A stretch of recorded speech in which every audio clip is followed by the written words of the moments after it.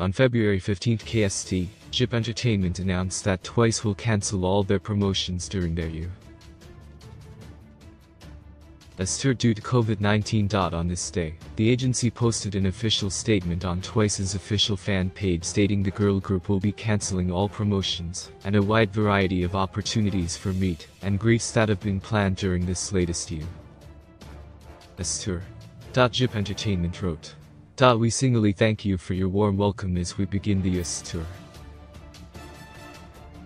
As this is a chance to meet our fans who have waited patiently in the US, we originally planned promotions and a wide variety of opportunities for meet and greets. However, due to the severity of the COVID-19 situation, we have decided to had no option but to cancel all promotions, as the artist's health is our number one priority, and must proceed with the tour in the safest way possible. JYP Entertainment and Twice members are sorry and saddened to announce this.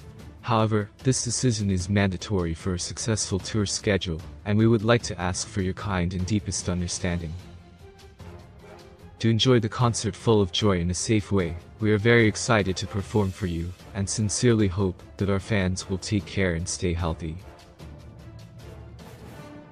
Meanwhile, the JYP Entertainment girl group was seen at Incheon International Airport on their way to Los Angeles to begin the North American leg of their fourth World Tour 3.